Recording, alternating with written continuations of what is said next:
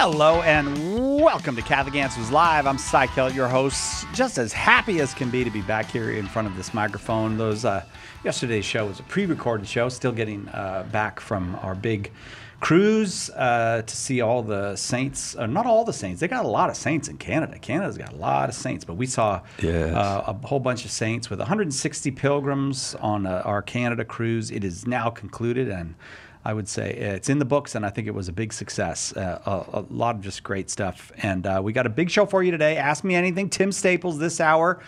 Jim Blackburn next hour, 888 318 7884. 888 318 7884. Tim Staples, senior apologist here at Catholic Answers, the author of that book right there. Behold Your Mother, a biblical and historical defense of the Marian doctrines. Hello, Tim Staples. Hello, Cy Kellett. You know what?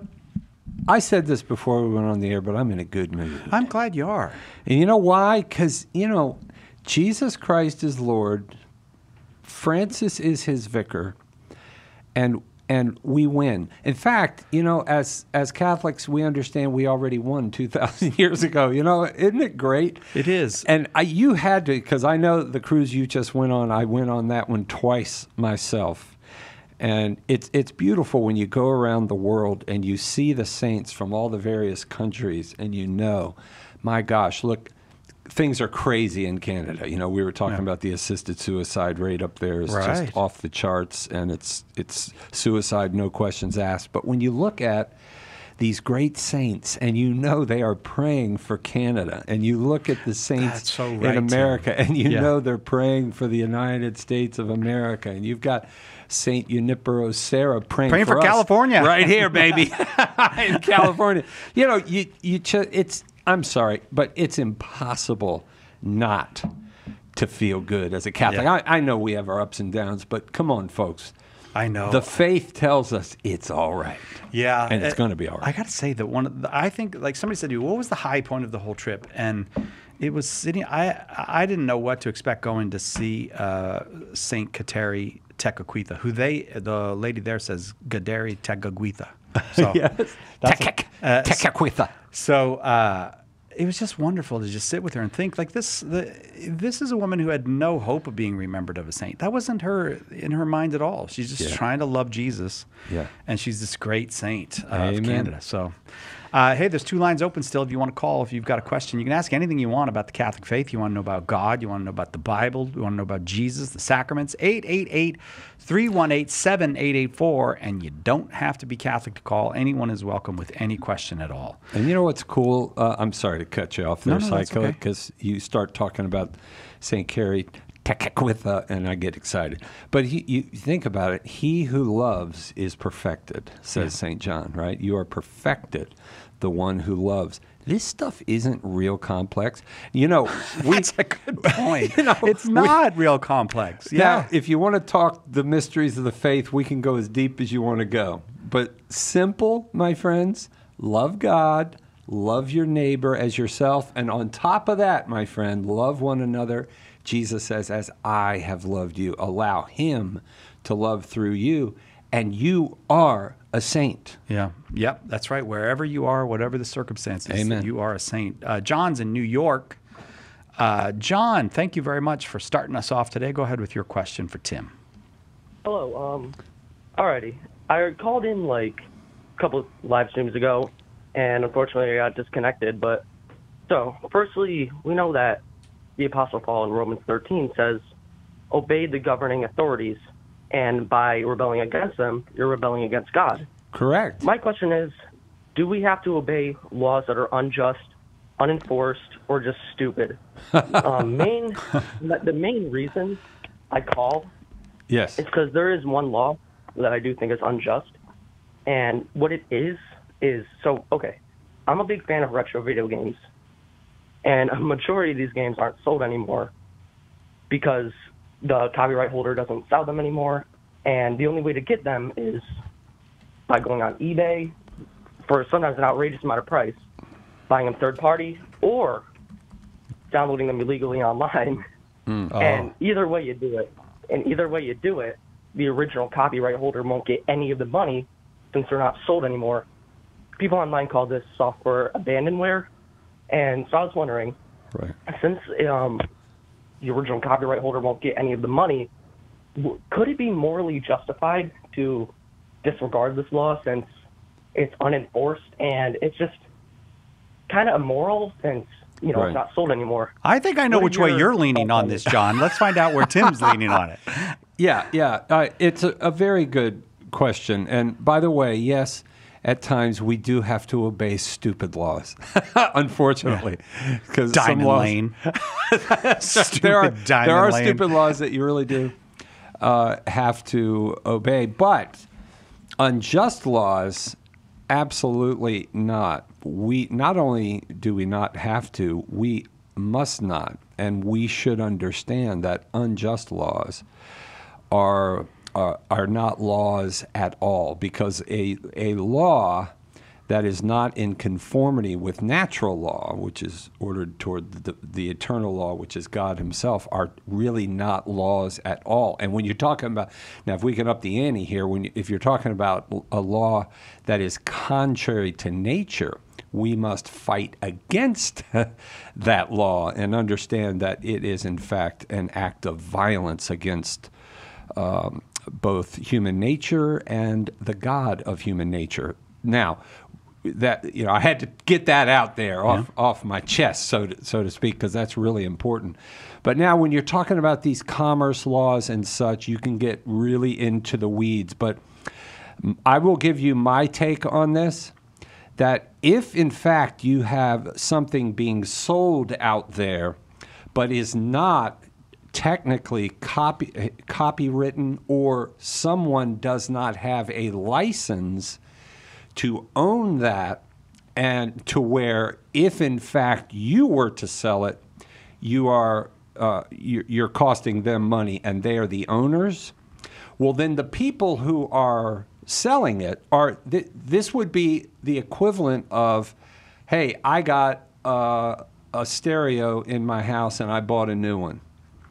And now, hey, I'm going to sell this to, to my neighbor. I'm going to have a garage sale and I'm going to sell my old stereo. There is nothing wrong with doing that. There's no law against having a garage sale and, and selling some old dilapidated equipment because you bought new equipment.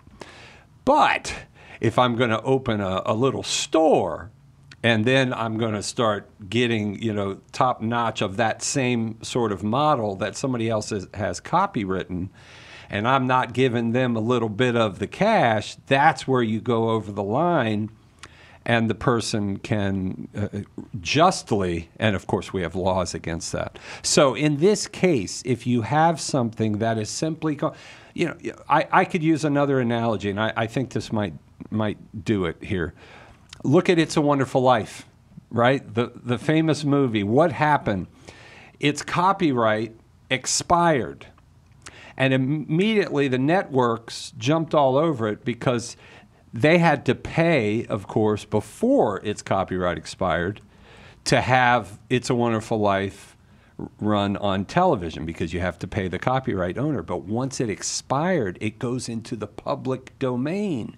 And that's how It's a Wonderful Life was kind of reborn and became the massive hit that it that it is today. But see, there's nothing wrong with that. There's nothing wrong with a network, NBC, running that movie and not paying anybody. Why? Because there's no license, there's no copyright, there's no one to pay. So yeah, that I think is is the key. Now, I'm not a lawyer, I'm not an expert on all the laws in the United States, but I would say from a moral perspective, the key is is it truly something that there is no copyright and there is no true owner to whom I have to pay royalties. Hey, if that's the case, Yeah. have a garage sale. Does that make sense? Uh, hang on. I put you, I'm sorry, John. I put you on hold. Does that make sense to you? My question, though, mainly, it's about like software that isn't sold anymore. Like, let's just say this software that's like 10 years old. No matter how you get this, Yeah. if you download it illegally by pirating it, or if you buy it online on eBay or anywhere else online, no matter what you do, the original copyright owner won't get the money because it isn't hasn't been sold for so long. Okay, but no, it doesn't have to be the original copyright owner. If it has been sold to someone else and they now own the copyright, it that makes no difference whatsoever. They own the copyright, then they must be paid. The key is has the copyright expired, not whether the original copyright uh, owner still owns it. That is irrelevant to the point. The key is is there a copyright? Does some and, and if, if there is, then that person or company or whoever, whoever owns it has the right to those royalties. I think that's about All right, John, thank you very much for the call. That actually brings us right to the break. So we'll take a quick break. We'll be right mo- back with more Ask Me Anything with Tim Staples on Catholic Answers Live. Catholic Answers Live. Do you have a question but prefer to ask it privately? Catholic Questions can help. Go to CatholicQuestions.com to ask your question online, email us, drop us a letter, or give us a call. Longtime Catholic Answers Live apologist and author Jim Blackburn or another Catholic Questions apologist will be happy to assist you. Catholic Questions proudly supports Catholic Answers Live, so visit us at CatholicQuestions.com today. That's CatholicQuestions.com. Underwriting for Catholic Answers Live is provided by Magnificat. Published monthly, Magnificat features texts of daily Mass, prayers, articles, meditations, art commentaries, and more in step with the liturgical rhythm of the Church on the web at magnificat.com. Proclaiming the faith, changing lives. The year was 2005. EWTN embraces new technology to carry out its mission of evangelization by making its live programs and classic broadcasts available for podcast online in MP3 format at no charge. To learn more about Mother Angelica's life and the history of EWTN, visit EWTN.com slash Mother Angelica.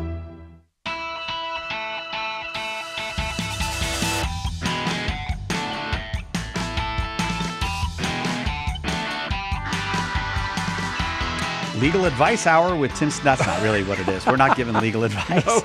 no. it's moral advice. Uh, but uh, you're uh, welcome to call if you have a question about the Catholic faith. 888 318 7884. Tim Staples, our guest, and Peter is in Canada, which I have a renewed love for after uh, having some time up there uh, last week. Uh, Peter, uh, welcome. Go ahead with your question for Tim. Hi, yeah, you came at a great time of the year. Oh, I, I gathered that. Do you know what people in Canada say? You go, it's so lovely here. And they go, come back in the winter. That's what they all say. yeah. if you if you like snow, it's beautiful. yeah. Anyway, my question is is about uh, motives of credibility Yes, for divine yes. faith. Uh-huh. And I understand how these prophecies and miracles show that the scriptures are from a, a supernatural being, from a being that has more power than humans, because they show that humans could not have done these things.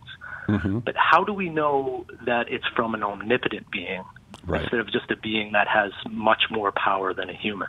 Right, outstanding. And Peter, you've asked a really good and important question. Vatican Council I, in fact, defined infallibly that the most um, certain way that we can prove revelation is by miracles and prophecies and such. You know, in a in a sense, that's all you have to really prove that this is not just some super angel somewhere or some really really uh, powerful dude that has brought about the, this text that we're looking at here. There has to be signs of omnipotence. And what does that mean? Well, if you think about this way, we're talking about power here, right? You've heard me say this before, Cy, but if, if I came upon uh, a work site and there were three houses being built, and one of them, all it is is a, they've put a bunch of drywall and wood and there's wires and stuff laying on the ground, and the guys are unloading trucks and whatnot. And then you got this other one where you've got the foundation laid, you got the walls up, right? You're you're moving along here, and then you've got a third. Well, wow, you've got the whole house up. You got the electricians now just putting the final touches on to get electricity going, and then they'll hook up the water. Well, which one of those three buildings, we would say now in philosophical terms, which of the three has the most actuality? and which of the three has the most potency or potentiality, right? Well, the first one obviously has the most potency because man, you you need a lot of power and a lot of dudes to get this thing put together into a house. The the middle uh, house uh, has um, less potency in the sense that there's more actuality, and of course the that first or third house, the way I'm counting them now, has the most actuality. So the first house would need the least amount of power, actuality, for it to become a house, right? So you, you get the sense here that where there's more potency, right, less actuality, you need more power to bring this thing, this act about, right? I'm talking about the act of this house being a full blown house. Well, Peter, when you're talking about prophecies and miracles, you're talking about uh, acts that are that require infinite power. And why is that? Because they are basically creative in, in, by nature. Like, take a, a, a, miracle. A miracle brings about a creative reality. Like, let's say somebody, I'll take one of the miracles at Lourdes where you had a, a woman who had literally holes in her, her face. Her, her name was Marie Lemarchand in 1892 had she was so far along with tuberculosis she had literal holes i've seen uh, the photograph when i went to lourdes I saw the photograph of this woman. They actually have a before and after where she's got holes in her face, there's pus, it's, it's gross. And afterward, she has pink, smooth skin. okay, and we're talking about instantaneously here when she was dipped in the waters of Lourdes. Right now, that cannot be explained by a super angel not even the most powerful angel or the most powerful being you can think of that's not God. Mm-hmm. okay? No being, no created being has that power. Why? Because you're talking about bringing something from nothing. So you have to have infinite power to bring something that is infinite potency, so to speak, because in God's creative act, He's not really bringing any potency into, into actuality. We just look at it that way because God's creative power is beyond anything we can fathom. But in, in our way of looking at it, it requires infinite power because you're not talking about stuff laying on the ground. You're talking about nothing. There's nothing. And bam, God brings it into being. Well, that, that's why miracles, as well as prophecies, and hang on because I want to get to that, and prophecies uh, are the most sure sign of revelation, says Vatican Council I infallibly, right? Well, what about prophecies? Because prophecies, uh, a true prophecy. Now we have to make some some distinctions here because angels and really smart dudes can make predictions. They can predict stuff, but when it comes to the, the false prophet or even the, the demon who has a really sharp intellect, he, he has insights into us and into things going on in the world that we don't. He can be accurate, but see, the key is a false prophet or a demon is going to hit and miss. I mean, I can predict, right? You see certain crazy things. A guy's driving crazy down the freeway, swerving. Oh, oh my gosh, that guy's going to get in a wreck. And bam, he gets in a wreck, right? I mean, yeah. You know, you see that, yeah, this guy's swerving all over the place. I think he's, you, you can predict in that sense the future given certain trajectories and what you see.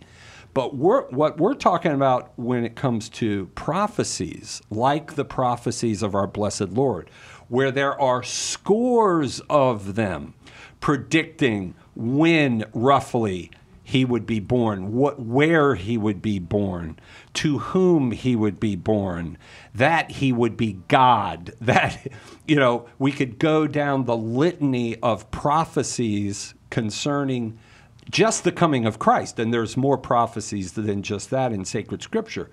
And what we conclude is that there is no created power because what's required here is not just like the devil who can predict what, what's going to happen in a couple of years or or perhaps perhaps but he'll hit and miss, right?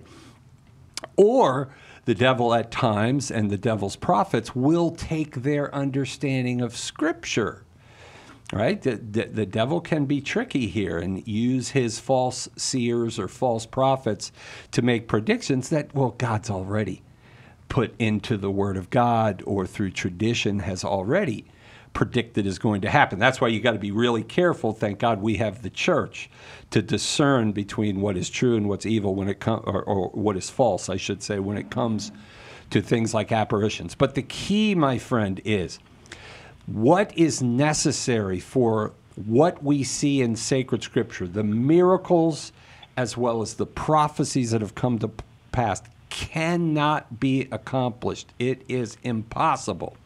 Predicting things with absolute accuracy, thousands of years, hundreds of years in the future on a consistent basis, absolutely not this has to be not ju- a super angel cannot explain this. A really smart dude can't explain this because when you're talking about future, and, and I'm going to leave you with this point, and maybe I get a, a thought on this. When you're talking about future contingent realities, future contingent acts, you're talking about infinite potency there is infinite potency with regard to where human beings will go into the future. Why? Because, hey, this brings up a recent document we've talked about here, uh, Cy Kellett. Infinite dignity. Right, right, right. That man, one of the many ways that man possesses an infinite dignity is in this incredible uh, spiritual uh, nature that we have, that is the soul we are, of course, a body soul composite by nature, right? But we have an immortal soul that possesses that infinite potency, so that in order to predict, truly predict, that would not from trajectory, right?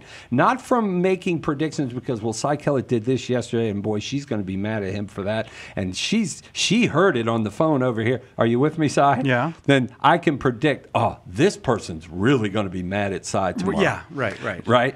But what we're talking about here is predicting from nothing, from see those future contingent realities from nothing. There's no trajectory that's going to take you 2,000 years, 500 years into the future. And even if you get lucky here or there, it is impossible for what we see in sacred scripture, these kinds of, of prophecies to come to pass by a created being. The source must have infinite power.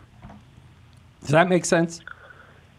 Yeah, it, it makes sense, except except for if we're talking about prophecies, like Mm-hmm. uh the devil wouldn't necessarily have to predict it. He could have been Sure. there during the statement and then caused the things because he would still be existing 2,000 years later. Yes, absolutely. So when I say predict, if I was writing, I would put that in, in scare quotes. I'd put that in quotation marks, right? Because he's really not predicting because he doesn't have that power.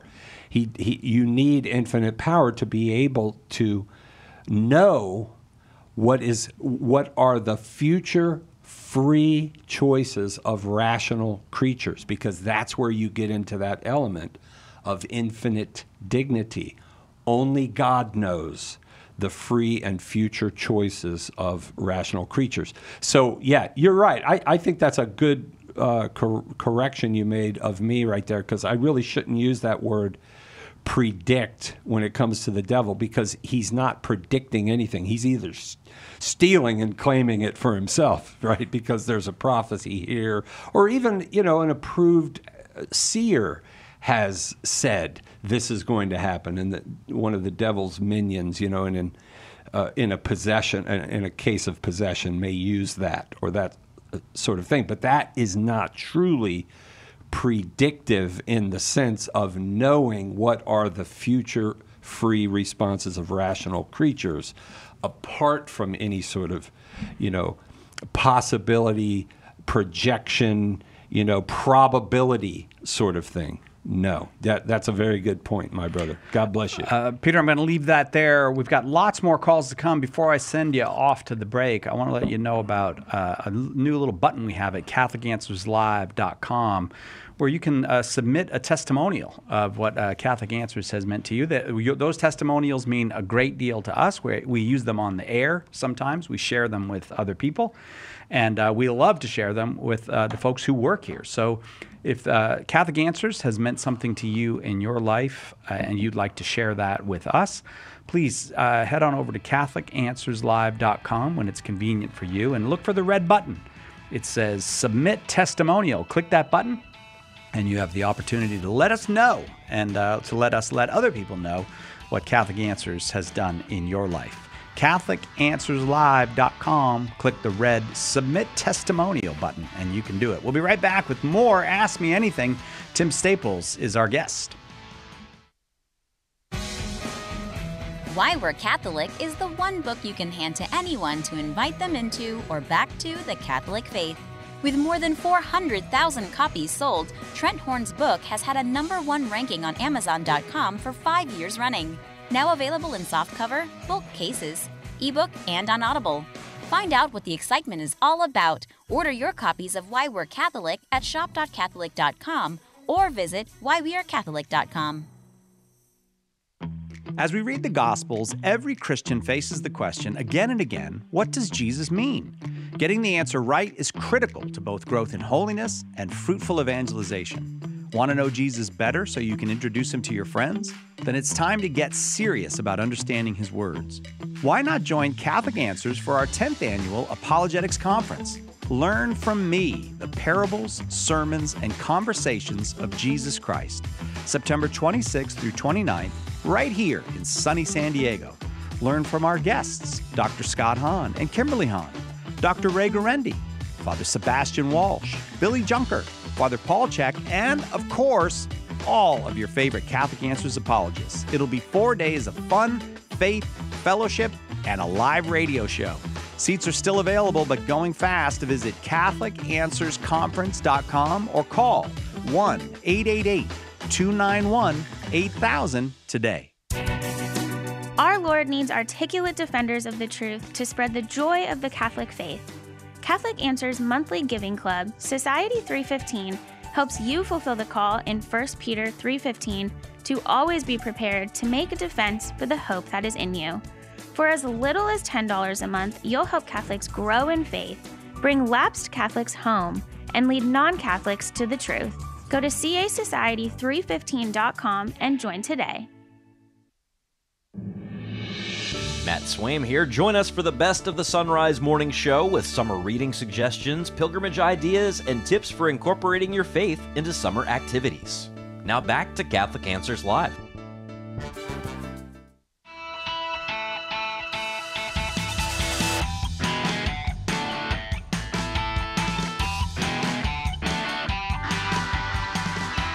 Welcome back. Catholic Answers Live.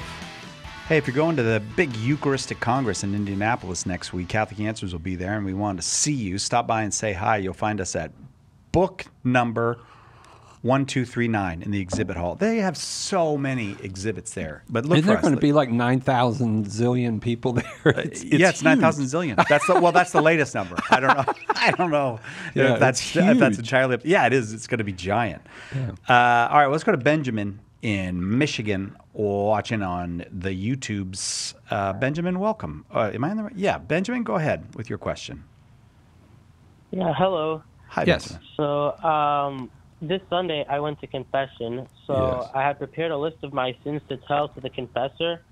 And of course, I was sorry for them, or at least I wanted to be sorry and not do them again and have a more intense contrition. Yeah. Uh, and I wanted to be absolved of my sins. And so I had stated my sins. I started stating my sins, and then the priest stopped me and said, Those aren't sins necessarily. and they were kind of stupid sins. So I, I, I kind of agree with him, but then I thought they were venial. Right. Um, but he said, just just tell me is the sins uh, from the, your past confession. I said, I don't remember what what specifically I did for my last confession because my examination of conscience included all of my past sins. And then he started asking the questions, did you lie? Did you steal, etc. And I asked him, isn't that beating around the bush? Those are very general questions. And he said, no. Uh, so I stated the sins. It was very general, but I assume the confession went bad other than the fact that he said the words of absolution, which is really what matters. But Yeah. it seems like he drifted away from theology in terms of what I should state in my confession because I didn't state all of my sins in specific kind and number.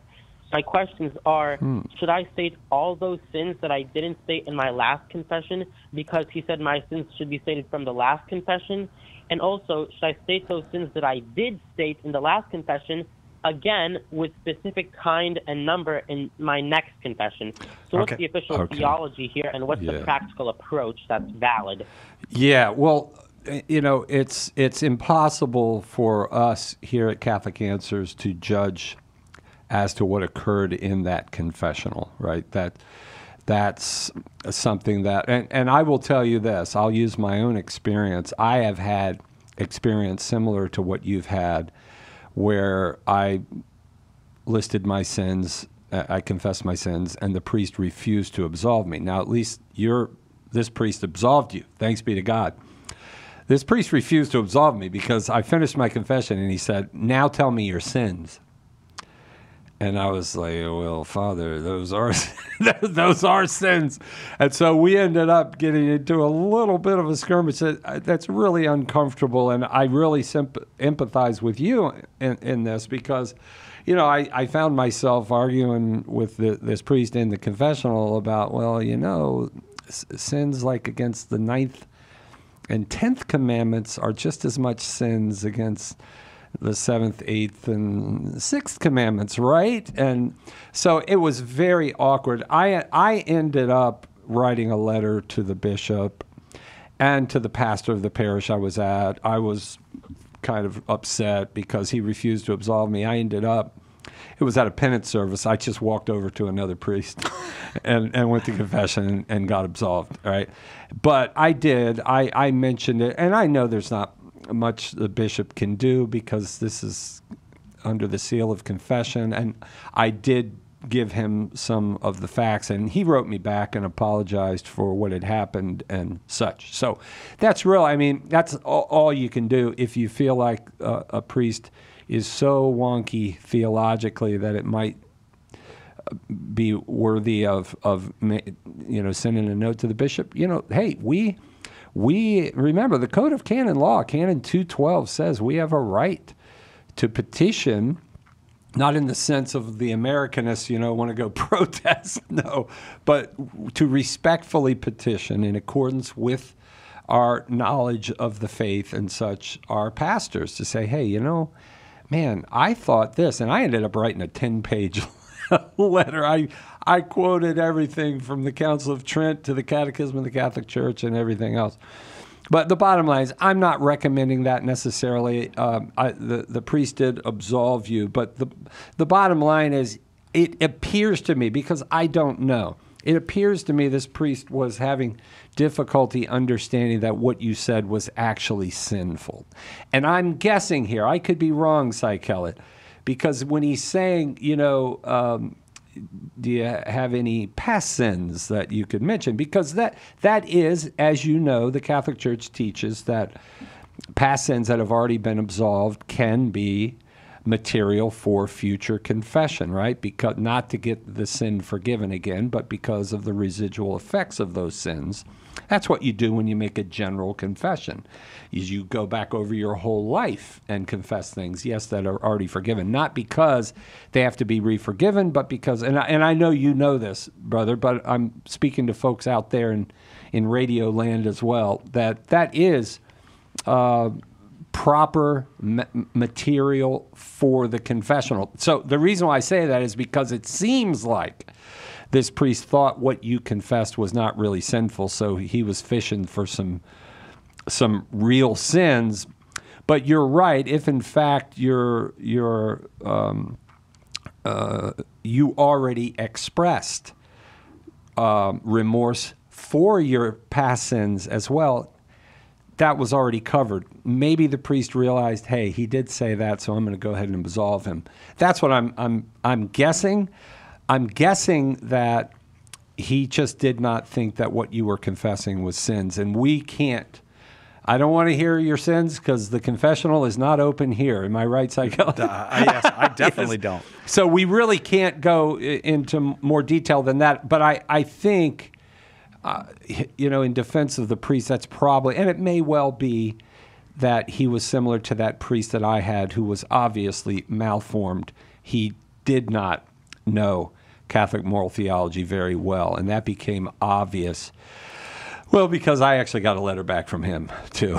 Oh, really? Because when I sent the letter, I sent it to him, I sent it to his pastor, and the, I sent it to him, and I CC'd his pastor and the bishop, and and I knew his pastor, and, and his pastor actually got a kick out of it. And he had me in his office, and he's like, "Tim, you were right. All right."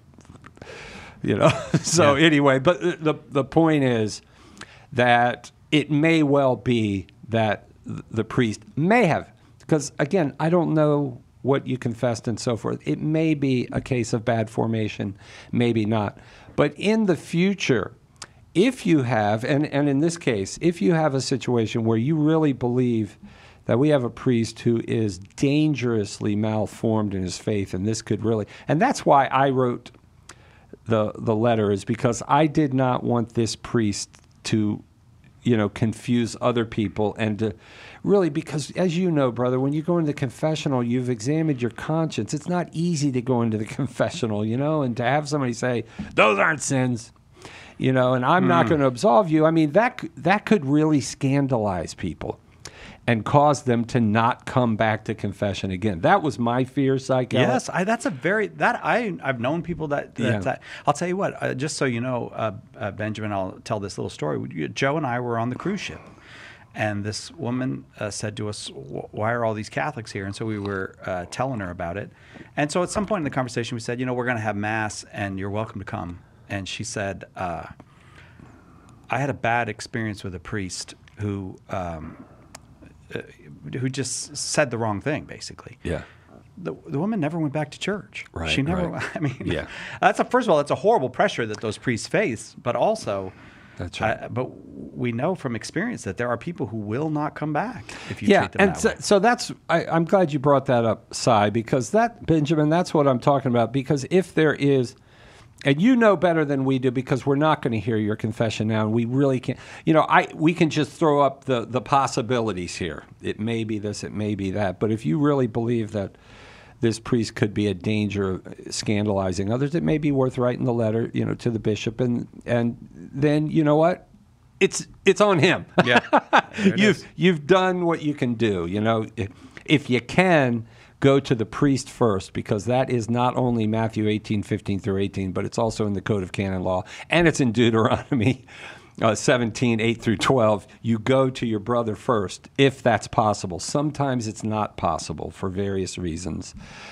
Um, But you have to make the effort first to go to your brother, and then you know, l- like I did, CC the pastor, CC the bishop, and that that sort of thing. But I'll tell you what we will do, Benjamin, is we will pray for you in this situation. And remember, everybody listening, that priests are people too, man. You know, Yeah. I know I make mistakes sometimes, and I get corrected. I get corrected by folks. In fact, the last caller, I think, made a good little uh, correction in some of the in one word that I used, and I'm going to take that to heart. So, I mean, we're all. You know, it's there's only one guy that's infallible. You know, I mean that's the Pope, and all the bishops in union with him, right? The the rest of us don't have that gift of infallibility, and ne- neither does a priest in the confessional, and in fact, no one has the gift of infallibility when they're trying to determine whether some you've done something that's that's venial is it venial sin or is this person just being scrupulous and all of that you know you're not going to have an infallible sort of this is this is it here especially in those cases where it's really kind of borderline and things like that so you know i say that to say this you know we give the benefit of the doubt to each other in charity and we move on from there. But I will say one last time, brother, if, if again, if you feel like, hey, this guy could scandalize somebody, you know, write that letter. Go to him if you can. Write that letter. There's nothing wrong with that, and then move on. Thanks, Benjamin. We've got to take a break. Right back with more Ask Me Anything with Tim Staples on Catholic Answers Live. There's only one Catholic Answers Live. Underwriting for Catholic Answers Live is provided by Real Estate for Life. Real Estate for Life connects home buyers and sellers to real estate agents while supporting pro life organizations. On the web at realestateforlife.org. One of the biggest mistakes a Christian can make is to try to do good without God's help. St. Therese said, When we trust only ourselves and not God, our soul becomes incapable of virtue. Her remedy? Works of charity. And the greatest work of charity is to share the gospel. At St. Paul Street Evangelization, a Catholic nonprofit, we encourage you to share the gospel with someone who doesn't know Jesus. Catholic Answers is supported in part by St. Paul Street Evangelization, streetevangelization.com. Church Pop takes a fresh and fun look at the news shaping our world, featuring engaging, inspiring, and informative Catholic social media content. Find it on Snapchat, Instagram, and on the web at churchpop.com. And you can get Church Pop emailed directly to your inbox. Visit EWTN.com and click subscribe. EWTN, the Global Catholic Network.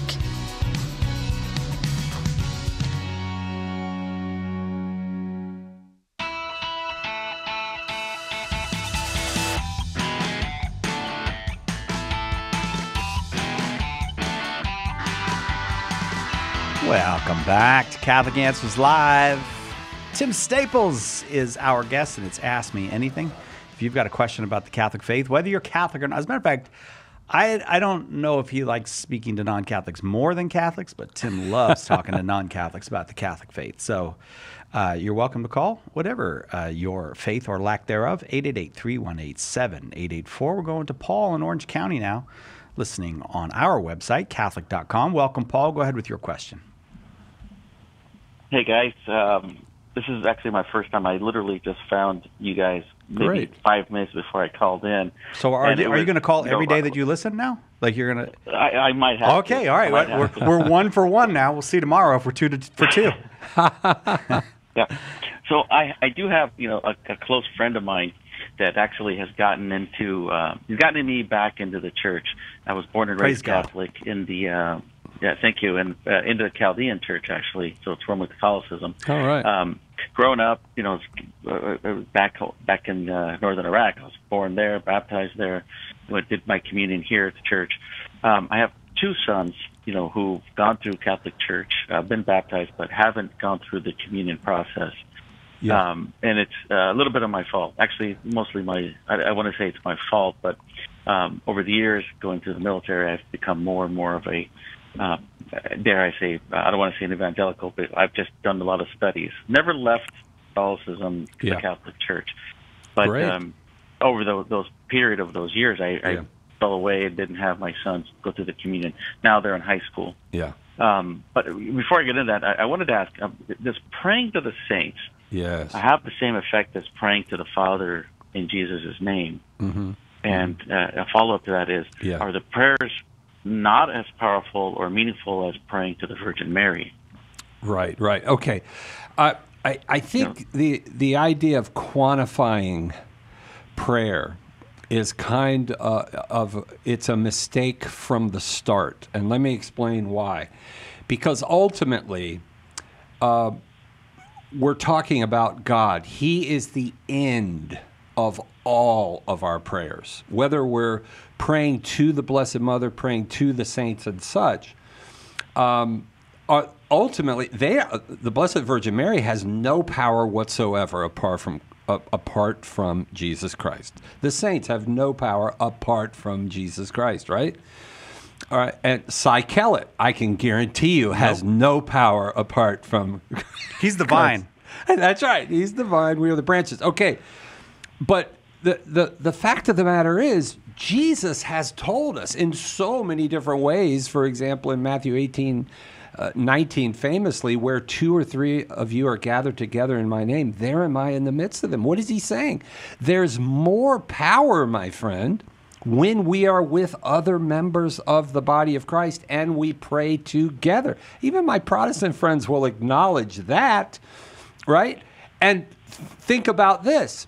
St. Paul tells us in 1 Corinthians chapter 12 verse 21, can the eye say to the hand, I have no need of thee? Can the head say to the foot, I have no need of thee? No. He says, if one member, I'm skipping down to verse 26, if one member rejoices, all rejoice. If one member suffer, all suffer. We are members of a body and we need each other, right? For what? What? Why do we need each other? To get to heaven. That's the way God designed this thing, right? When He was incarnate, that is the second person of the Blessed Trinity in Jesus Christ, and He established the church as what? The body of Christ. One of my favorite verses, Ephesians 1 22 and 23. The church is the body of Christ, the fullness of Him who fills all in all. Jesus is in Cy. That's why I need Cy to pray for me, right? Because if I'm praying by myself, yes, it is powerful. One voice who calls out to God, God will respond. But guess what? There's more power in more of us. And when we join together as a body, the body of Christ, that's why the Mass, of course, is the most powerful expression because we are joined to the sacrifice of Jesus Christ, the prayers of all the saints who have gone before us, as well as all that are alive today. We are all joined together in the holy sacrifice of the Mass in the most profound way. Not that we're not elsewhere, but that's the most profound way because there, Jesus Christ is representing for us his once for all sacrifice for our salvation. So, my brother, it's not about quantifying, you know, my. Well, let's see. I've prayed to Mary three times, and oh, I, I better pray four times to Jesus. No, because ultimately, when you're praying to the Blessed Virgin Mary, the ultimate end of your prayer is Jesus Christ. This is why when we pray the Hail Mary, yes, we honor Mary. And that's an important point because the scripture, too, and this is the amazing thing, my brother, and I know you know this, is how biblical this stuff is. You know, I come from a, before I was Catholic, a sola scriptura Southern Baptist background, later became a, a member of the Assemblies of God, and it was all Bible, Bible, Bible. But I'm telling you, it's the Catholic faith that brought the Bible to life for me, like I had never imagined when I was Protestant, because you, you see how the scripture is really so clear on these matters, how that, uh, yes, Jesus is our one mediator between God and men, right? He is our one high priest, Hebrews 3 1. He is our one priest, Hebrews 7 22, right? Our one mediator, first, First Timothy 2, verse 5. And yet, we're all mediators in Christ, says 1 Peter 2 5 through 9 we're all priests, right? We're a member of a universal priesthood. And what is a priest but a mediator between God and men? We are all called to mediate grace to one another. And as members of the body, that was a key for me. The body of Christ. Jesus uses us, just like I use my hand to pick up this cup of water right here. Jesus uses us. And so the ultimate, we would say, right, to use philosophical t- terms, the efficient cause is Jesus. If Mary does anything for us, it's by the power of Jesus working through her. If St. Paul, when St. Paul in Acts of the Apostles, the scripture says he healed Publius, who was sick, right? And it says Paul healed him. Well, how did Paul heal him? By a gift of the Holy Spirit given to him by Jesus Christ, right? So that's why I say, you know, I, I don't want to, I'm not putting down your question at all, but I'm saying that oftentimes we're kind of a bit off from the start, right? When we say that, well, which would be better to go directly to the Father in Jesus' name or to pray to Mary? Well, there's no difference with regard to the end, which is the Father through Jesus Christ. The Blessed Mother is effective because she's in Jesus. So you are going to Jesus. Are you following me, Cy? Yes, yes. Because Mary's, Ah, yeah, yeah. his, her efficaciousness only comes from her being in Jesus. That's the only way you can explain the fact that Jesus tells us we need to pray for each other, right? That that uh, you know uh, that First Timothy chapter two verse one, Saint Paul would say. I mean, how dare he say? First of all, when you're gathered, he says, I. I I ask that, or I exhort that prayers, supplications, thanksgivings be offered for kings, leaders, and for all men. Wait a minute.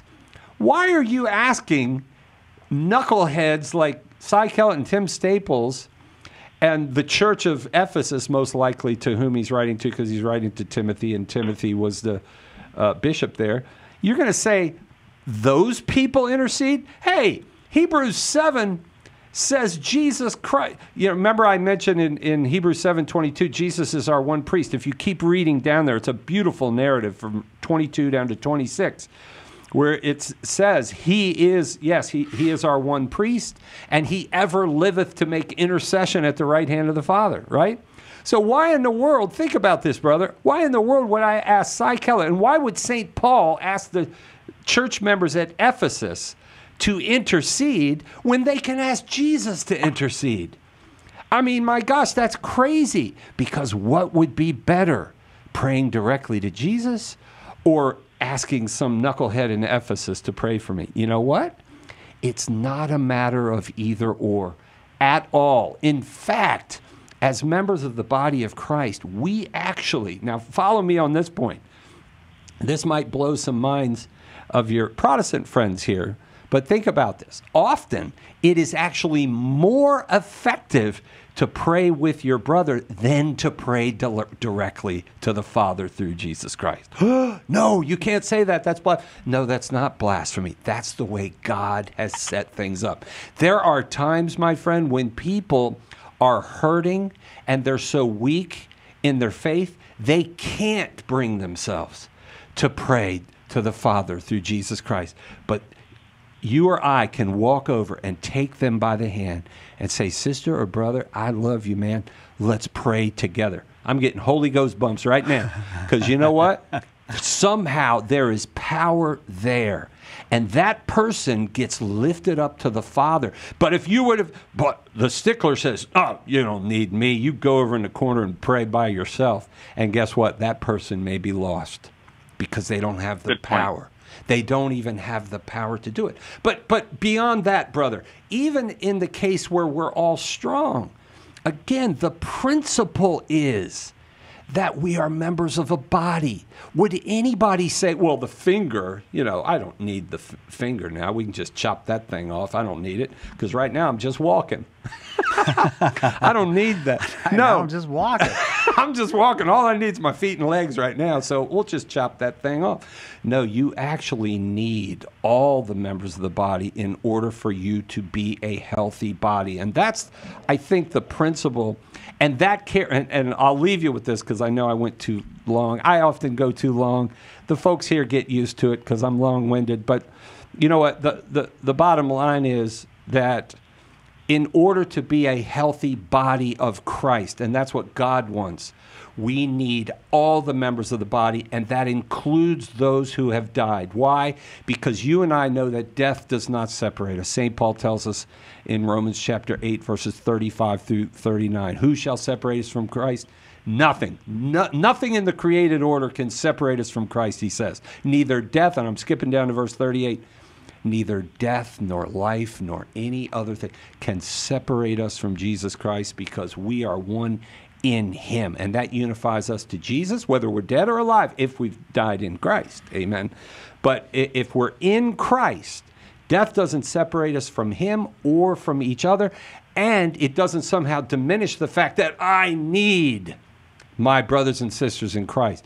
The Bible never says no until they die. When they die and they go to heaven, then you don't need them anymore. That's crazy. That is not New Testament theology. I, I hope that was helpful for you, brother. I'll tell you what, Paul. Uh, you hang Very on. Uh, I'm glad it was. Hang on. We want. I want to send you a copy of uh, Tim's book, "Behold Your Mother: A Biblical and Historical Defense of the Marian Doctrines." I've got a section in there on the communion of saints. Very, yes. very good. And I and I and I, you know you're you're back to the the practice, the full practice of the faith, and praise God for that. And I think this book will be very helpful to you in that. Tim Staples has been our guest. You can get his book, Behold Your Mother, and uh, lots of other stuff from Tim Staples at uh, shop.catholic.com. Thanks, Tim. All right, brother. God bless you, and thank you for all the callers. You guys are awesome. That was worth coming back from Canada for. That hour was worth coming back from Canada for. Hey, we're going to continue. So if you're on the line, stay on the line. If you haven't called yet, you're welcome to call 888 318 7884. It's Ask Me Anything. You can ask any question you want about the Catholic faith, whether you're Catholic or not. Coming up next, Jim Blackburn on Catholic Answers Live.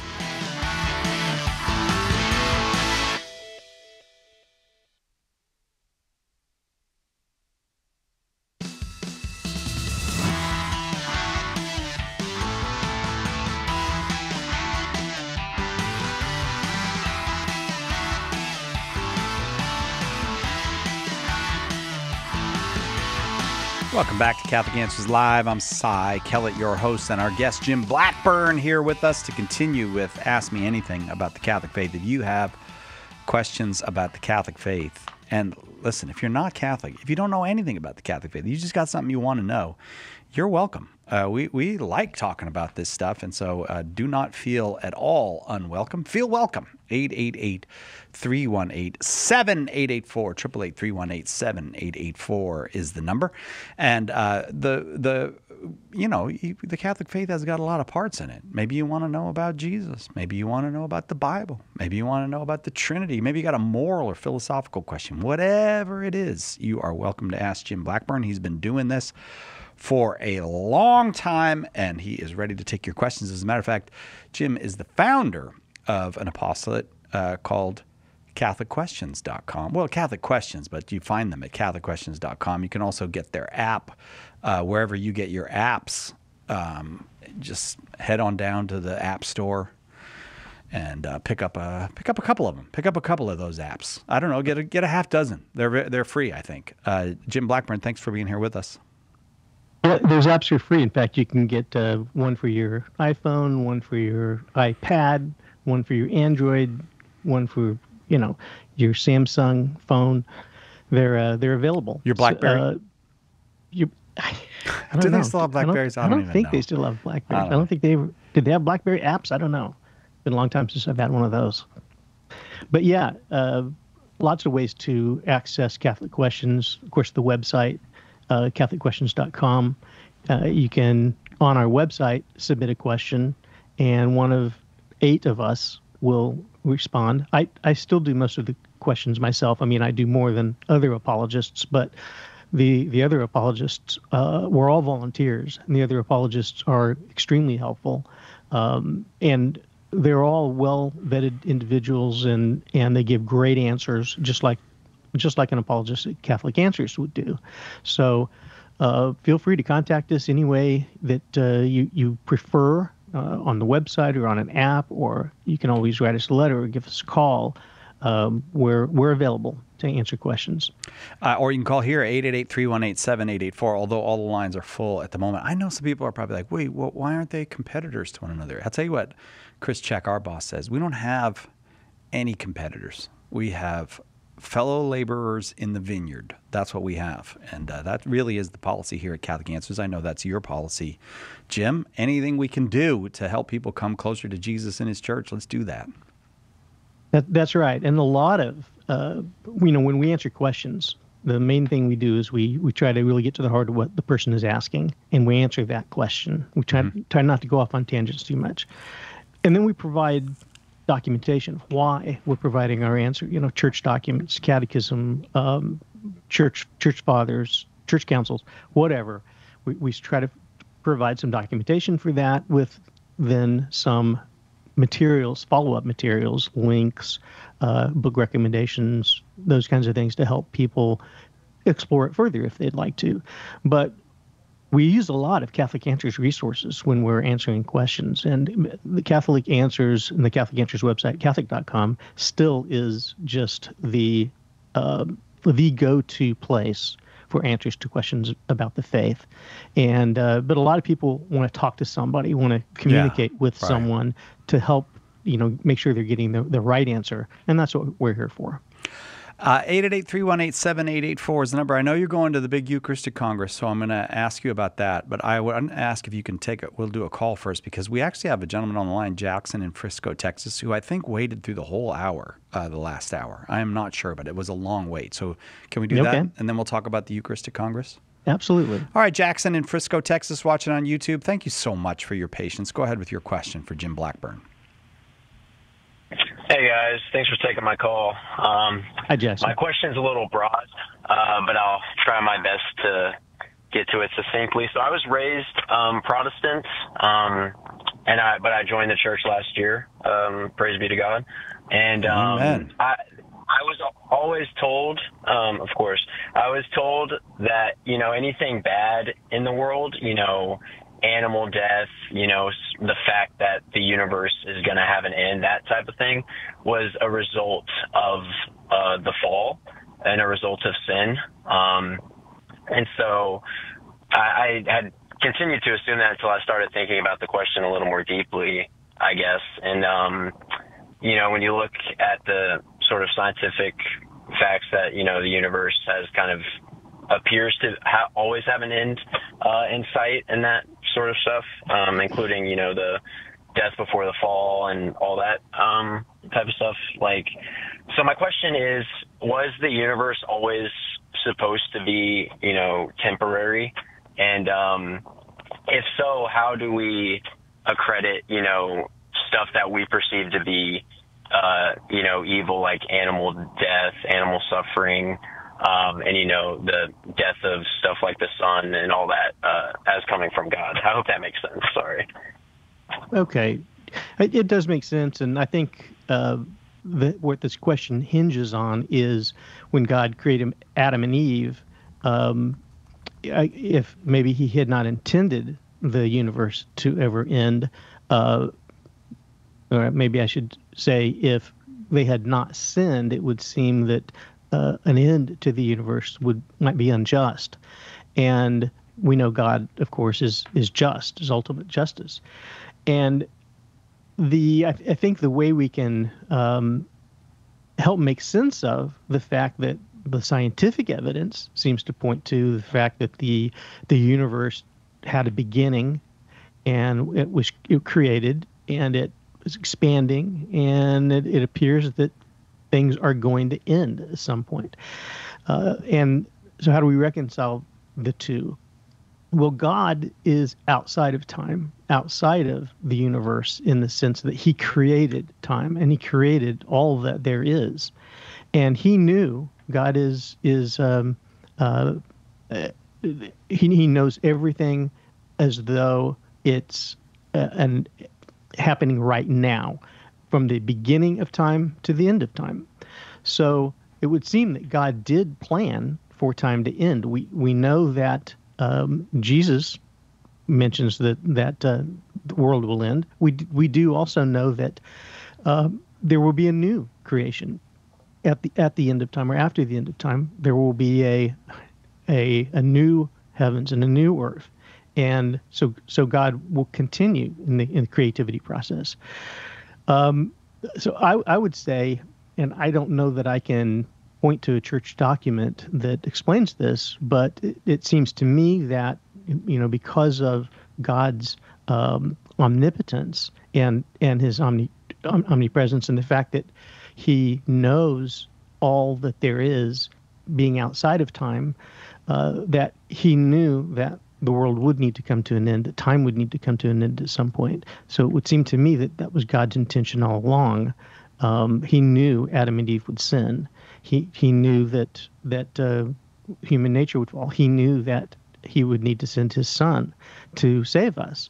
So all of these things, knowing that God is outside of time in, in an eternal now, all parts of time are, an eternal now to God, uh, it would make sense to me that knowing this, God did create the world, the universe, with a, a beginning and an, and an intended end from the very beginning. Does that help, Jackson? Oh, you know what? Hang on, Jackson. I I put you on hold. I apologize. Go ahead. Did, did that help you? You're okay. Yes, sir. Yes, that was very helpful.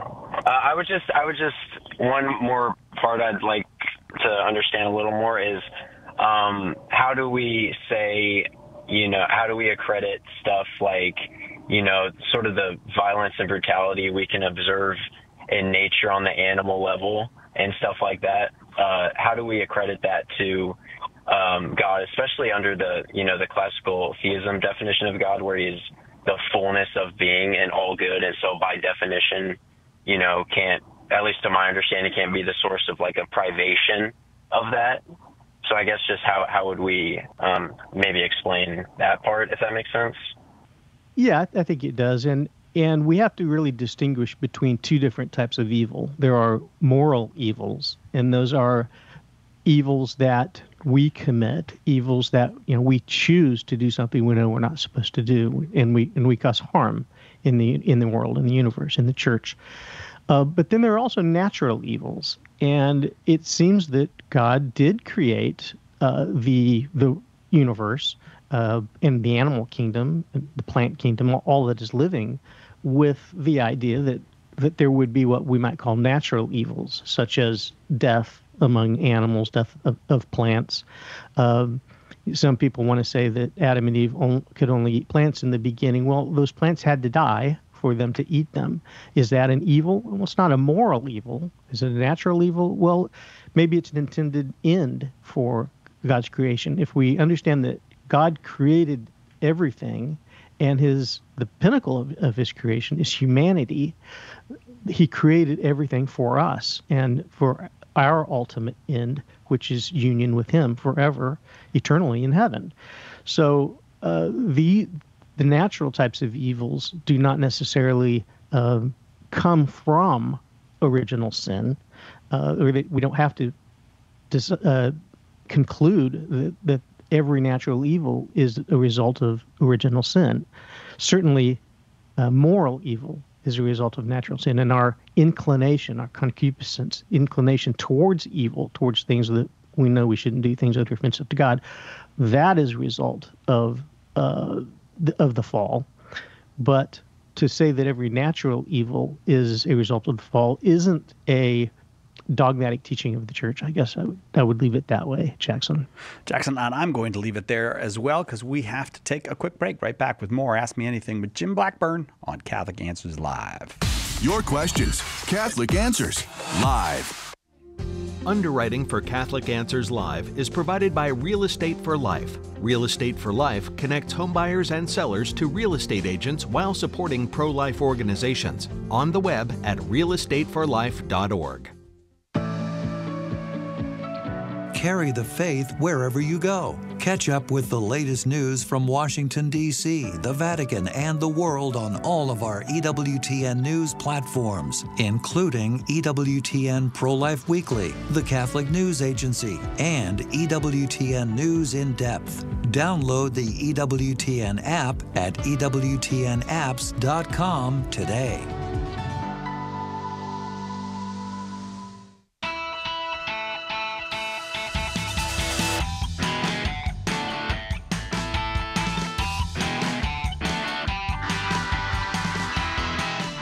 Welcome back to Catholic Answers Live. I am Cy Kellett, your host. So happy to be back. We had a great time with all the people who came us with us on the pilgrimage to see the saints and the trees and the water and the people of Canada. We had a great, great time uh, doing that.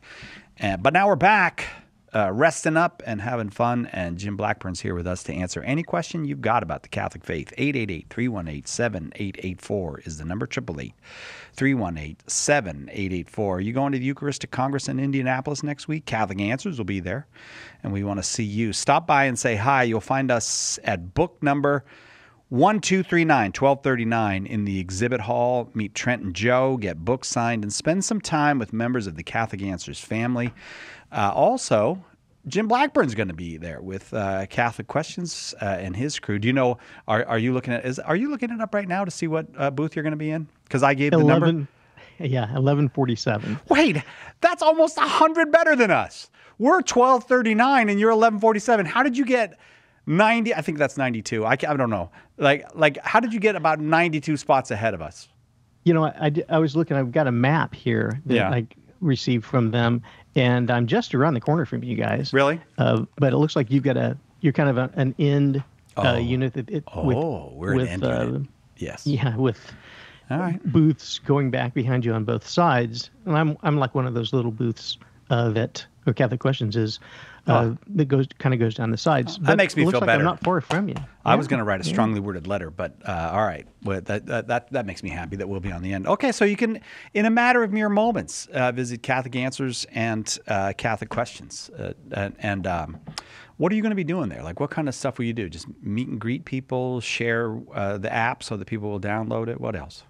The the main thing we're there for is, is exposure so uh-huh. people know that we exist. You know, we we have some um, uh, brochures we're gonna we're gonna hand out. We don't we're a a tiny little apostolate. Uh, we're all volunteers, so we don't have a huge budget for this. We're not we don't have a lot of giveaways, but we've we've got a few nice things. People stop by our booth, and we want to meet people. We want people to to meet us and know that we're here to answer their questions.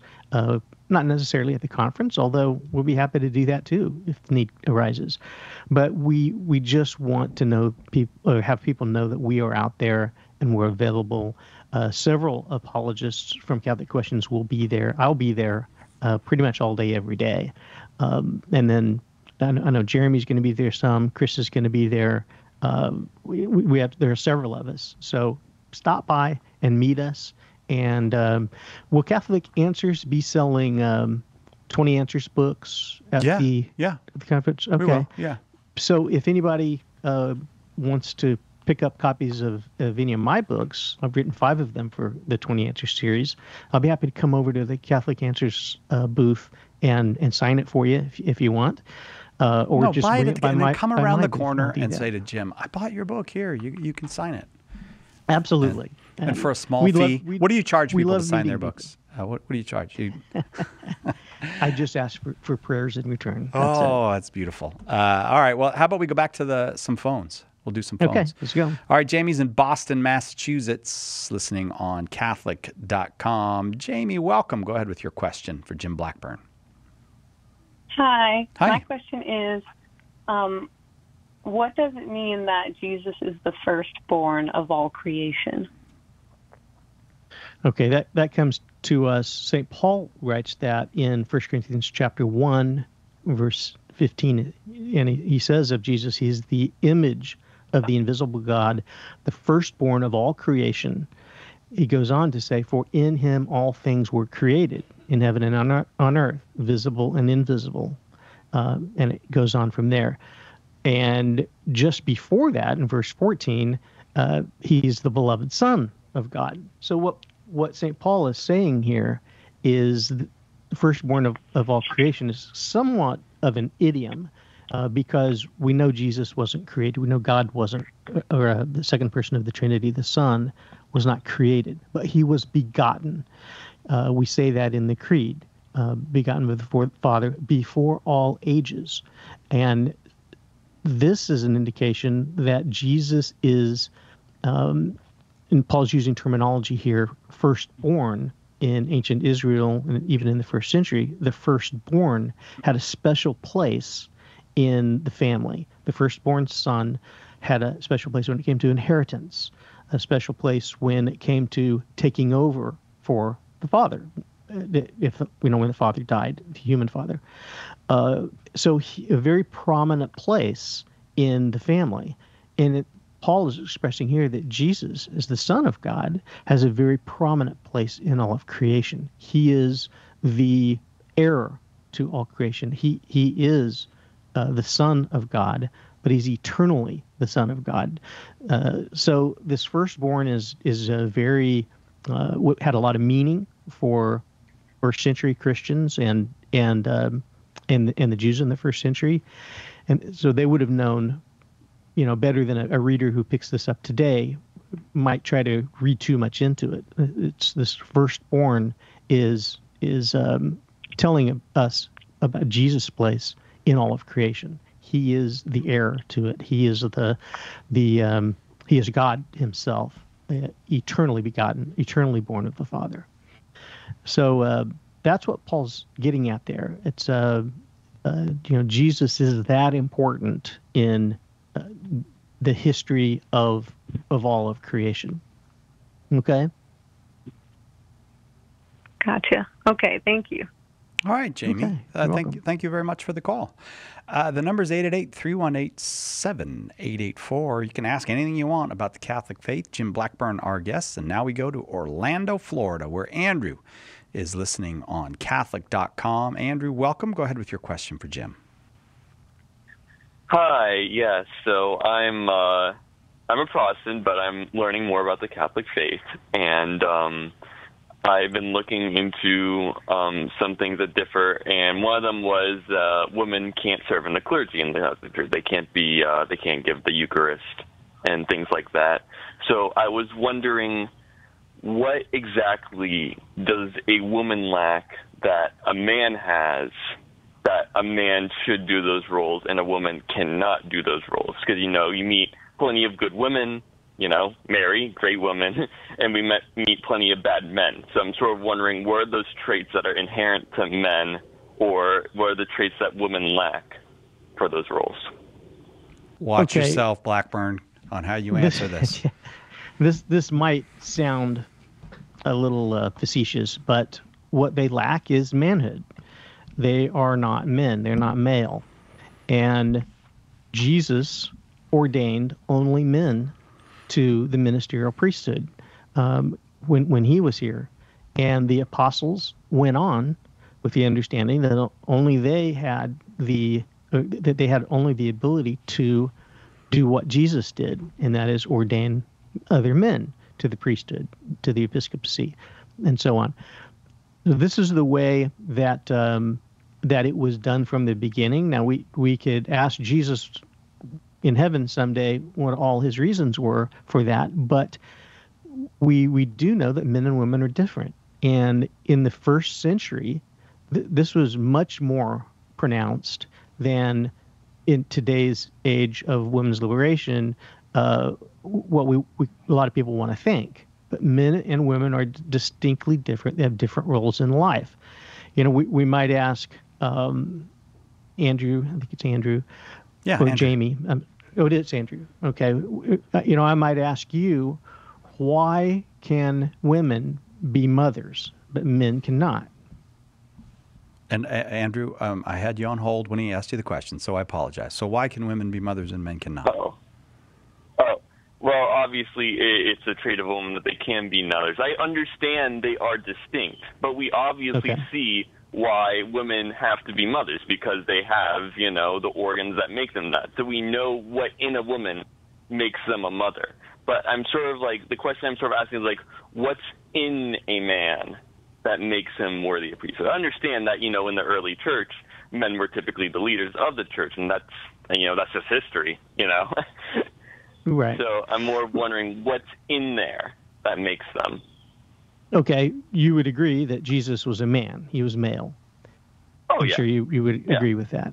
Uh, When the priesthood, the ministerial priesthood, uh, when Jesus gave uh, the, say, he instituted all of the sacraments, and when he instituted the sacraments, he um, he he gave the ministerial priesthood the ability and the obligation to administer the sacraments. And when they do that, they act in the person of Jesus.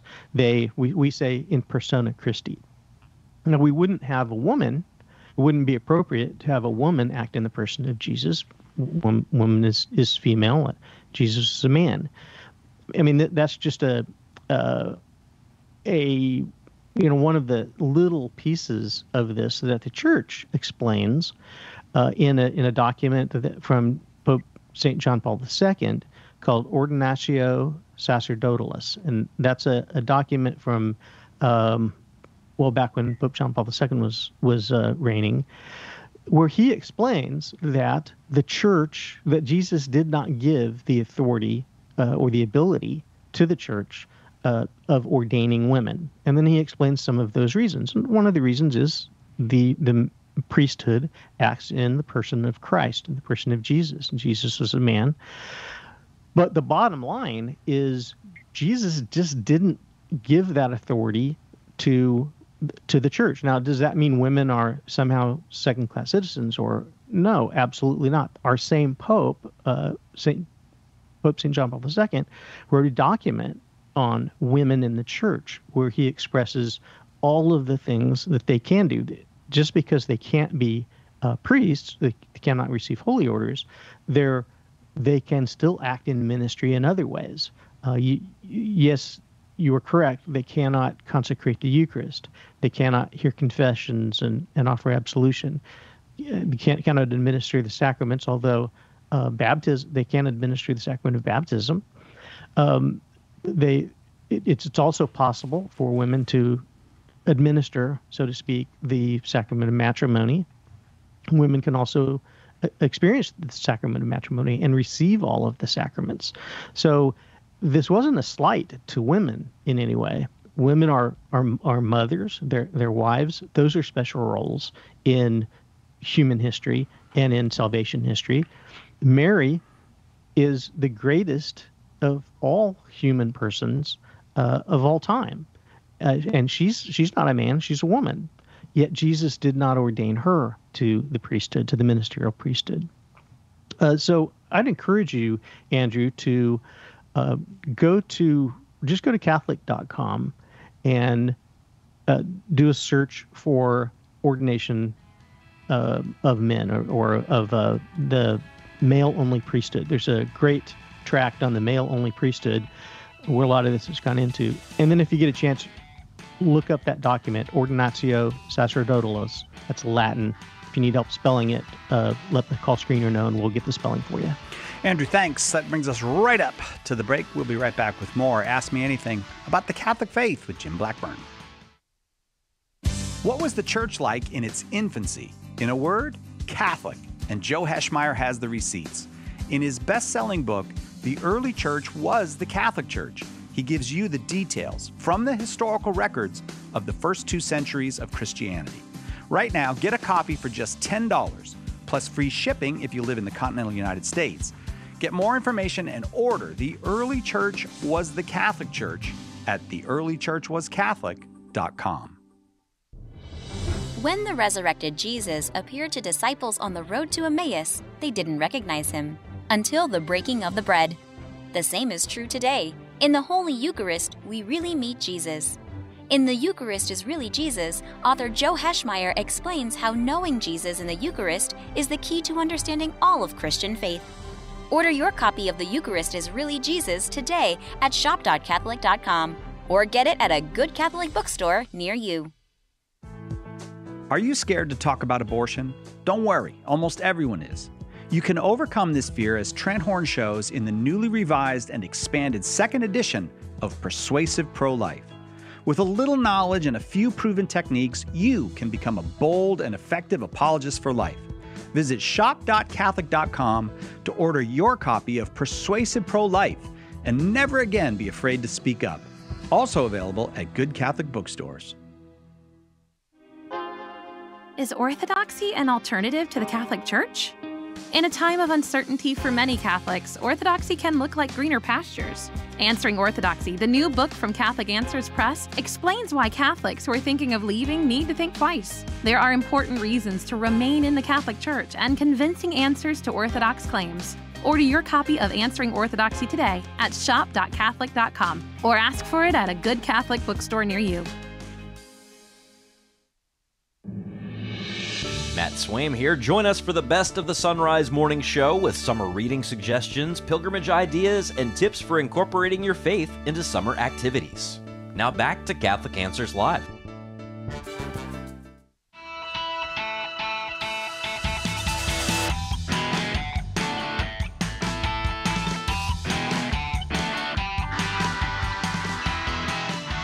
Welcome back to Catholic Answers Live. The early church was the Catholic Church. That's Joe Heschmeyer's very fine book. Uh, just $10 plus free shipping within the United States. How much do you know about the beginnings of the Catholic Church? Catholic Answers has your numero uno resource to learn. Pick this fantastic resource up at shop.catholic.com. The early church was the Catholic Church. And we got the receipts. Uh, that's available for just $10. Free shipping at shop.catholic.com. Uh, let's. Uh, oh, Jim Blackburn is our guest. It's Ask Me Anything. Chris is in Maryland watching on the YouTubes. Hello, Chris. Go ahead with your question.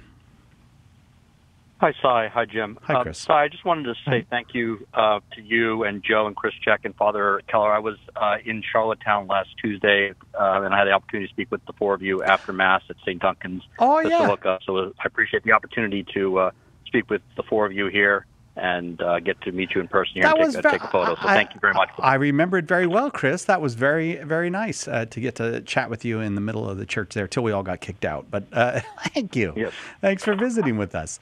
Uh, so you're back home now. Yeah, I'm back home now, just like you are here. So uh, right. great to meet uh, the four of you here. So thank you very much, and God bless you. Thank you. I appreciate it. Yeah. All right. Well, go ahead and give uh, give Jim your question. Hey, Jim. Uh, two questions tied to the Mass. Um, um, as I was in Canada last week, as you heard, um, I noticed at Mass here that from the consecration, once the consecration is done to the Great Amen, that the lay people actually stand um, once that is uh, once the consecration is done here. However, in the United States, we kneel from the Holy Holy to the Great Amen. And I was wondering, I guess, why the U.S. bishops requested permission to do this, and are there any other uh, requests that the U.S. bishops ask for uh, that make it different than other parts of the world that celebrate the Mass? Thank you. Okay. Yep.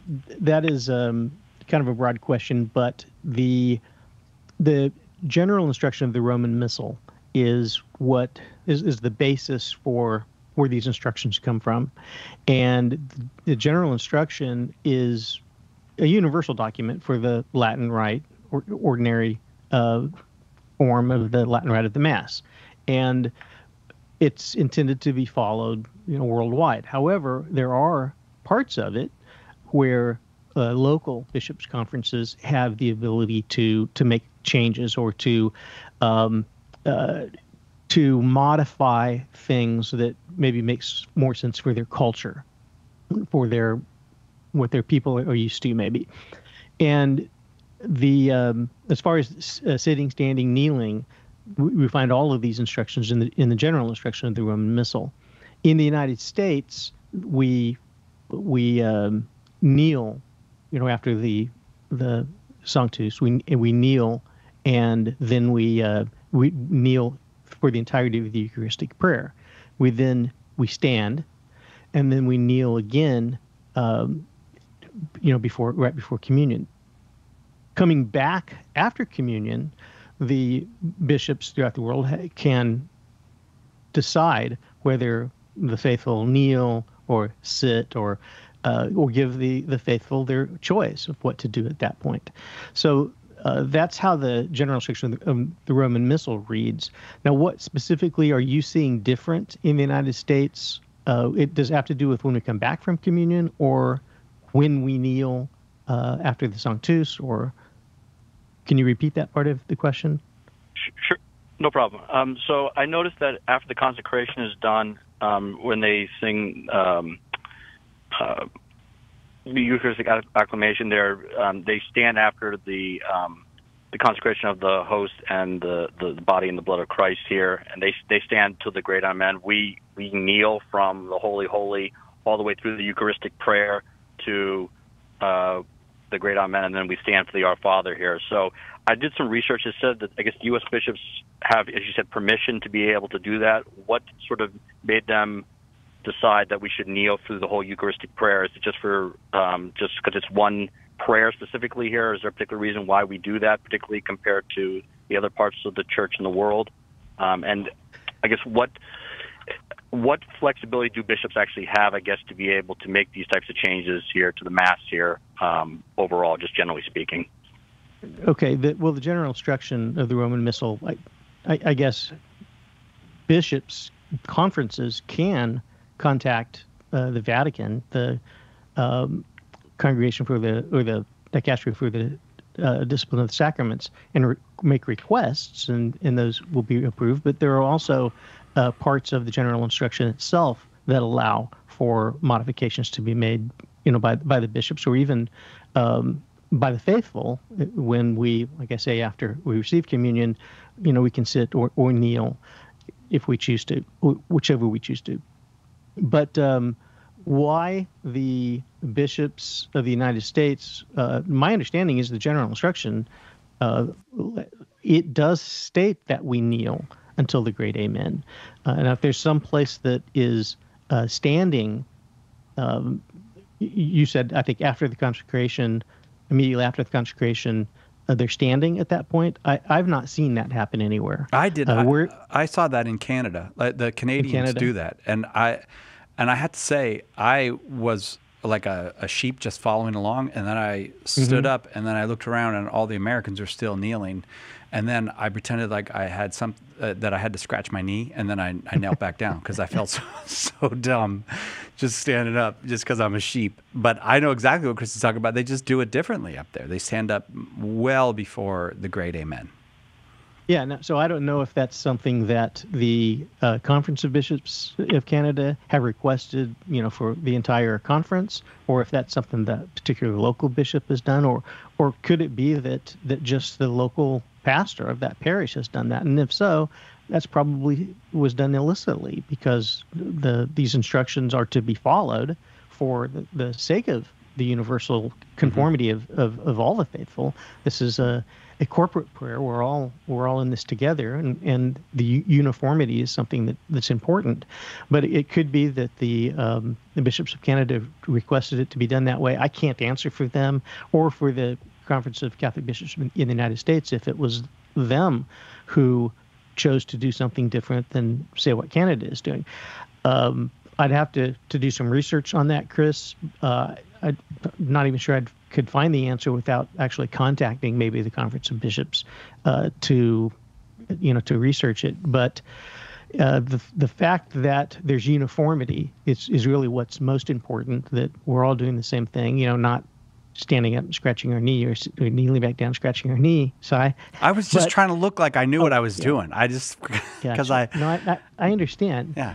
Uh, but um, uh, the general instruction does uh, indicate that uh, this this uniformity uh, to show that we are the church and we're here together, we're worshiping together.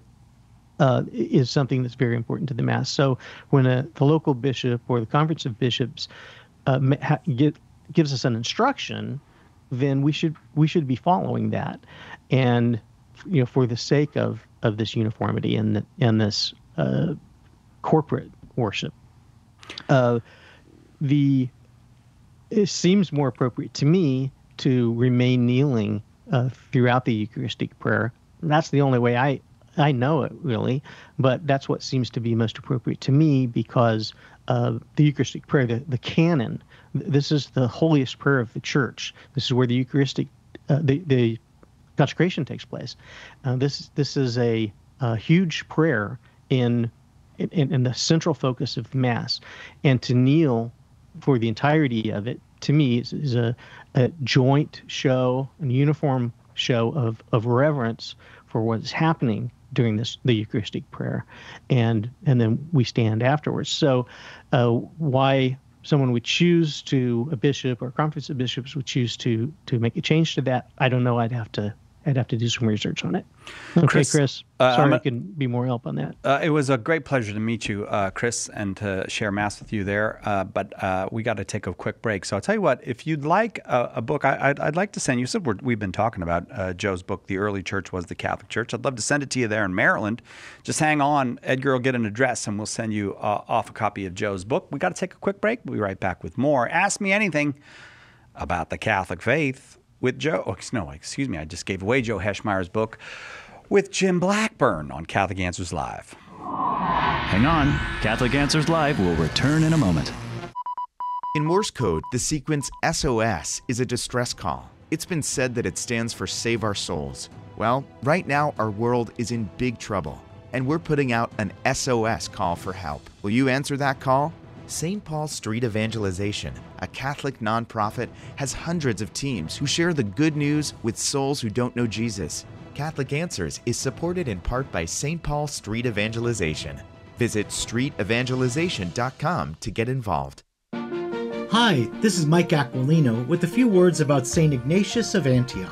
St. Ignatius was one of the first Christians to leave a body of written work.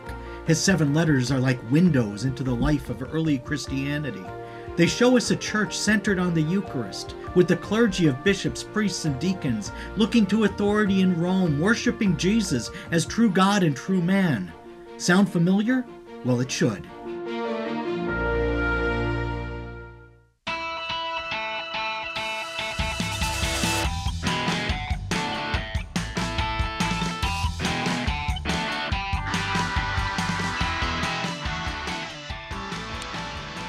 Back.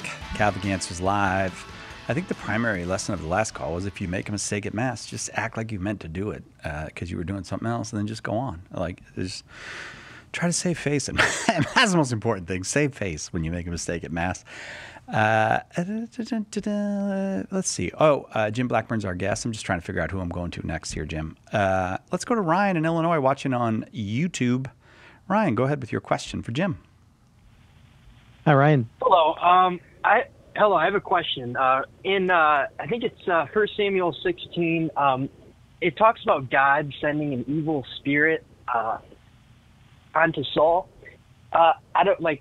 Does that mean like a demon or something like that? And um, kind of like the second part of that question is, is like, does God still like chastise people, whether physically or however, or uh, like He did in the Old Testament today? Those are, that's my question. Okay, Ryan. The uh, what we're seeing happening in the Old Testament is uh, is actually not maybe what uh, what how it's explained. And let me let me explain that. The in the Old Testament times, uh, keep in mind humanity was at a an earlier state of of development, of understanding, of of uh, understanding God, and God had not fully re- revealed Himself yet. And it, during much of the Old Testament times, people attributed everything to God. When something good happened, it was attributed to God. When something bad happened, attributed to God, and would use language like this that you know God sent a, sent a demon, or uh, God uh, hardened Pharaoh's heart, or God uh, uh, th- this type of um, language that was used attributed everything to God because everything exists because of God and everything exists for God, and if it happens, it's God's will, so God made it happen. Well, as humanity grew up and matured and and uh, received more revelation from God, we understand that even though that language was used, uh, these are things we bring on ourselves. And if a if a person sins, does does something evil, and let's say then is is um, uh, something demonic happens in that pers- person's life, it's not God doing it. We know that now. We know that. Um, uh, God wills the salvation of everyone, and He gives everyone the what the grace that He needs to ultimately be in communion with God and to die in that state. Uh, so when we fall out of communion with God, we're doing that to ourselves. We don't uh, attribute things to God in in the same way that a humanity at a much more crude level of understanding uh, expressed these ideas, these thoughts, these uh, things that they, they see happening, uh, just attribute it, uh, everything to God in the sense that uh, he wills it or he forces it, makes it happen.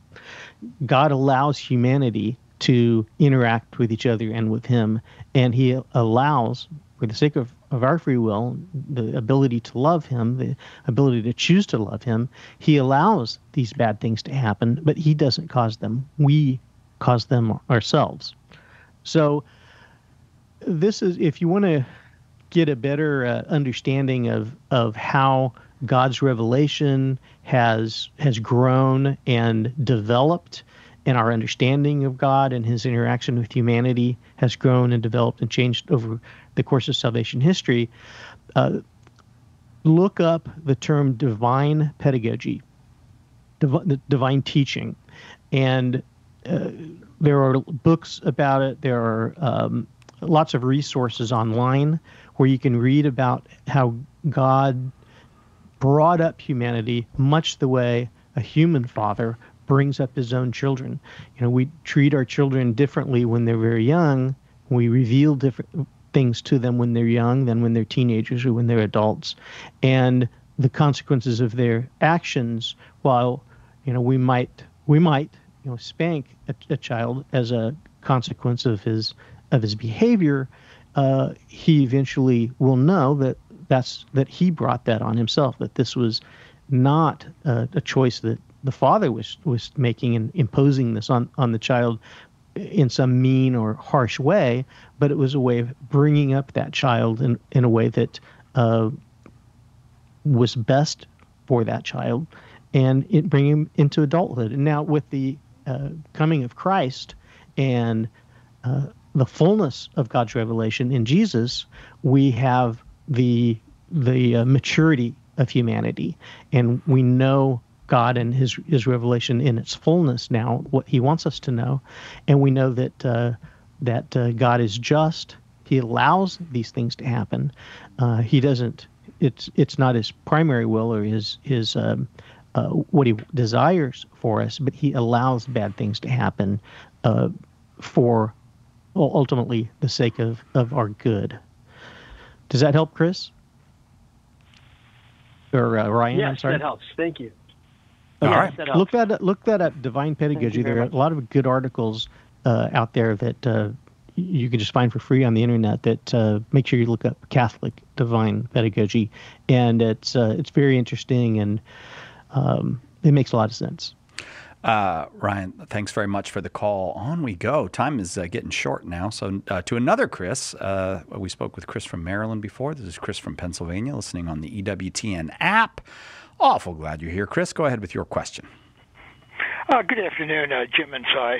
Uh, Jim, I have a question concerning uh, plenary indulgences. I understand that a plenary indulgence remits all of the temporal punishment that is due a person for sins already forgiven and can normally only be granted once in a day. Now, my question concerns an exception to that. I understand if a person gains a plenary indulgence during the course of a day and then dies later that day, can be granted another plenary indulgence known as an apostolic pardon, which does mm-hmm. the first thing as the first plenary indulgence. And can you explain to me how the earning second plenary indulgence or apostolic pardon is of benefit to that person who has already been granted a plenary indulgence earlier the same day? Yeah, sure. And this is, um, uh, to me, it would seem that, well, first of all, the apostolic blessing or the apostolic pardon that comes at the end of life uh, is is such a, a beautiful gift from the church, from God, uh, to to know that a person can, on his deathbed, uh, receive, along with the, the sacraments, receive this this plenary indulgence is, is a beautiful thing. Uh, I was talking to a priest one time who. Um, I, I I just I was asking him about it, and he he actually for some reason didn't even know about it, and uh, so I, I helped him research it, and he he um, so he he was sure to. Uh, start making that an active part of his ministry from then on. I, I would hope that on my deathbed I have a priest who knows about that and and um, offers that to me. But what can happen between if you get receive a plenary indulgence, say uh, in the morning, and then uh, at at your death you, you receive the apostolic pardon. Uh, you know what can happen between the two. Uh, you know we can, as you rightly uh, defined, a an indulgence, a plenary indulgence, is a remission of all of the temporal consequences of sins that have already been forgiven. Well, these temporal consequences of sins uh, are not uh, necessarily sins of themselves, but they are their attachments to sin, and a person immediately after receiving an, an indulgement can immediately become attached to sin again. You know, have the concupiscence, our own concupiscence, our attraction to sin is something that uh, can come come back to us immediately. It's it's almost difficult to receive a plenary indulgence and um, know that you have that complete detachment from sin, which is required for a plenary indulgence, by the way, to know that you have that and you maintain that. So it's a uh, a final way of ensuring that this person has received the the um, remission of hopefully all of the temporal conscious consequences due to his sin and that attachment to sin at the point of death. Uh, of course, if there is any attachment th- that remains, or if the apostolic pardon is, is granted when, when the person does not is not completely detached from all sin, even attraction to venial sin, then it would be something less than a, a plenary indulgence, and that cleansing would still need to come uh, at a state after death, before entering heaven, of course, that we call purgatory. But it might it might limit that. It might uh, drastically reduce the time needed for purgatory, if not eliminate it altogether. I'm going to leave it there because we are getting near the end and there are still quite a few folks uh, on the line. Chris, thank you very much for the call. Christine is in Indianapolis, Indiana, listening to EWTN on Channel 130 Sirius XM satellite radio. Christine, welcome. Go ahead with your question. Thank you so much.